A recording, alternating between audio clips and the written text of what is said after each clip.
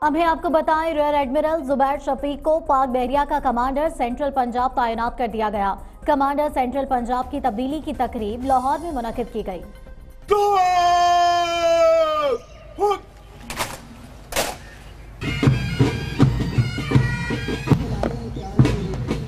ترجمان پاک بحریہ کے مطابق کمانڈر سینٹرل پنجاب کی تبدیلی کی تقریب لاہور میں منعقد ہوئی، جہاں ریئر ایڈمرل زبیر شفیق نے ریئر ایڈمرل زاہد الیاس سے کمانڈر سینٹرل پنجاب کا چارج لیا۔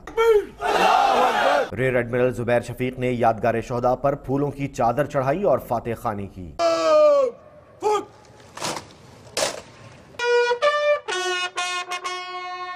پاک بحریہ کے ترجمان نے بتایا کہ قبل ازیں rear admiral Zubair Shafiq deputy chief of naval staff personnel کے فرائض سر انجام دے رہے تھے۔ کمانڈ تبدیلی کی تقریب میں پاک بحریہ کے سینئر افسران اور جوانوں نے شرکت کی۔